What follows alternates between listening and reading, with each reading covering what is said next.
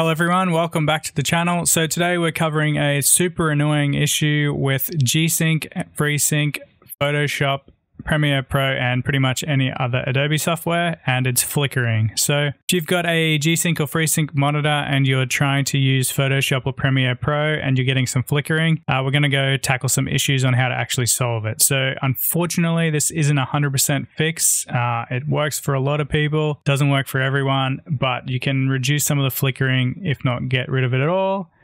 So we're going to attempt to solve it. So quite a few things to go through here, so definitely work your way through the list and you should get some results. For me, I didn't fix it entirely, but I've got rid of almost all of it.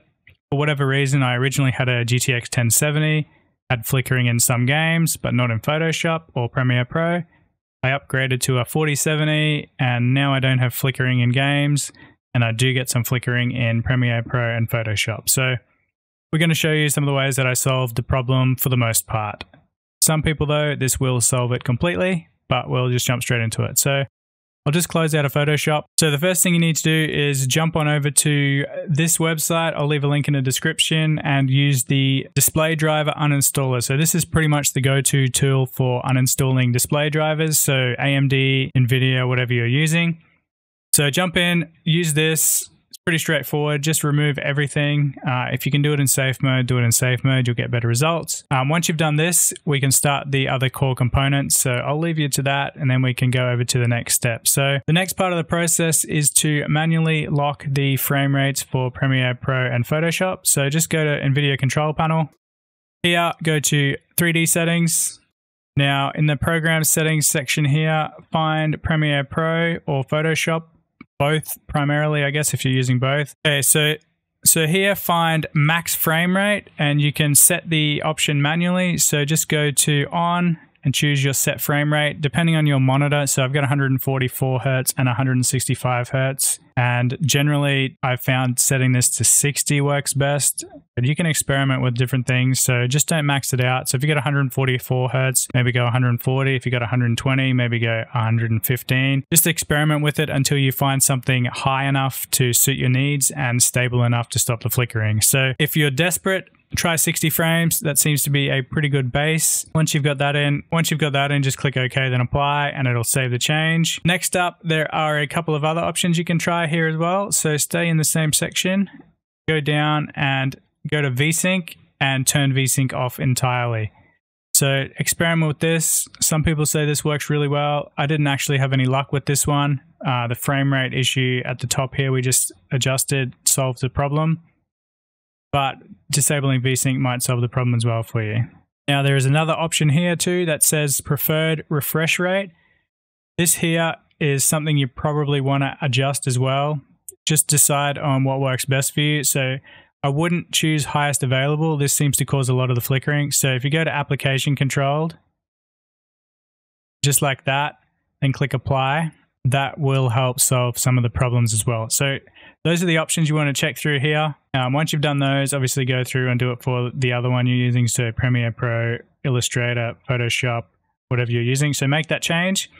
See what sort of effects you have. Um, if that doesn't help, the next option to jump into is here for your G-Sync settings. So switch between the full screen mode and enable for windowed. So some people have success uh, choosing either one of these.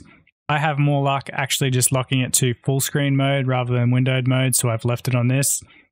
But just experiment with these two after you've made these changes as well. This is another viable option. The next option we have here is changing resolution.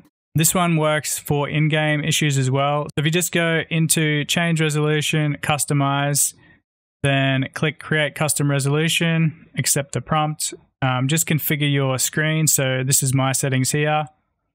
Um, the max refresh rate, set it a little bit below your max. So mine's 144, so I would set this to 140. You can go 142, but just set it a little bit lower. Go test, let that complete.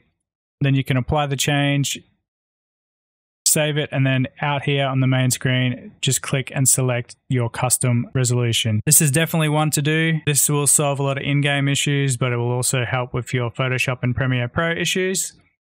So outside of that, the next option we're going to jump into are some of the ones in Windows settings. So configure this first, then jump over to Windows settings. So here in Windows, we're going to go to display. Okay, so in this on this screen here, we're going to go down to graphics. Here we have a few different options. So under default settings, go change default graphics settings. And here we have several options. So experiment with these. So first disable all of them. You'll need to do a restart to disable the top one. So once you've done that, um, disable variable refresh rate, see if it solves the problem. Disable this, see if it solves the problem. If it doesn't work, just jump back on, enable this, disable these two. It's a bit of trial and error to see what actually gets you the results. I currently have hardware accelerated GPU scheduling off. Uh, this is primarily so I can use the noise reduction and echo removal in OBS because without that, the NVIDIA broadcast component doesn't seem to work in OBS. So there's a conflict between Windows and NVIDIA control panel and OBS. So that's my reason for having this off. So this might not work for you, but experiment with it anyway, and you should hopefully solve the problem.